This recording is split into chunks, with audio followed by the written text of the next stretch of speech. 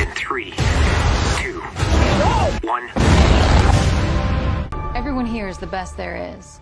Who the hell are they gonna get to teach us? Captain Pete Maverick Mitchell. Let me be perfectly blunt. You are not my first choice. You are here at the request of Admiral Kazansky, aka Iceman. Good morning, aviators. This is your captain speaking. We're going into combat on a level no living pilot's ever seen. Not even him.